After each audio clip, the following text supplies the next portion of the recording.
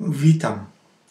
E, Słuchajcie, Krzysztof Biegun został liderem w skokach narciarskich.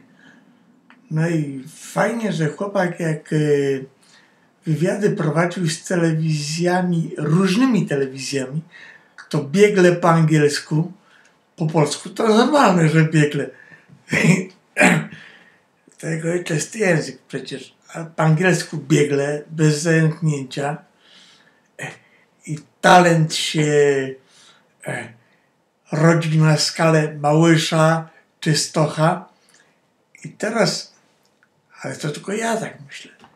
E, ciekawe, co by zrobił, jakby dostał propozycję od innego państwa.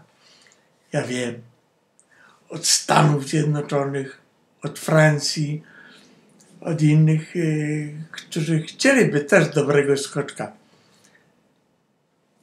jeżeli by dostał taką propozycję, czy podpisze i umowę i zmieni obywatelstwo, czy y, raczej zostanie. No dla mnie to lepiej, żeby został, niech Polskę reprezentuje, ale to młody chłopak, to będzie wiedział, co robi.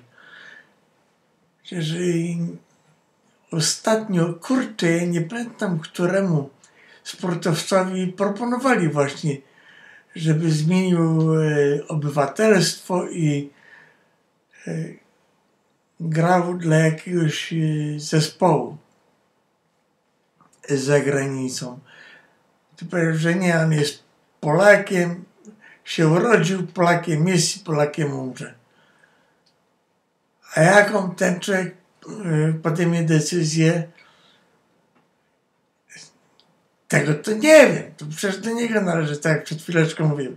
To młody chłopak. Ja życzę mu powodzenia i samych sukcesów. I oby mu tylko woda sodowa do głowy nie uderzyła. Niech ciągnie wszystko jak najlepiej. Cześć.